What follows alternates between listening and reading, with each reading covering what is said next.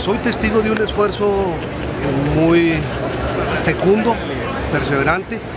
Me ha tocado verla trabajar en muchas cosas y muchas de ellas con un sentido muy humano. Generalmente en donde está la adversidad está presente ella y eso me parece que es muy importante. Le he visto en las colonias populares, le he ido asistiendo a niños en los hospitales. Creo que es un esfuerzo muy valioso, muy reconocido por parte de mucha gente.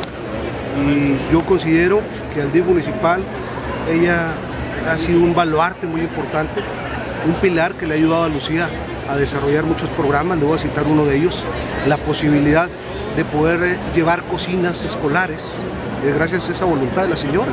Y hemos crecido en eh, comidas calientes en muchas escuelas del municipio gracias al apoyo. Eso y muchas cosas más. Yo creo que podríamos calificarlo como un esfuerzo fecundo y mm, sacrificado, esforzado.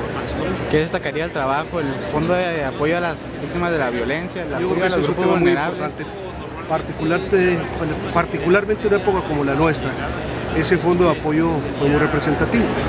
Pero yo destacaría más el lado humano de las acciones, el estar presente en donde hay una gente desvalida o desprotegida, como por ejemplo el esfuerzo que se ha hecho con las prótesis y las personas discapacitadas. Eso yo creo que vale la pena subrayar.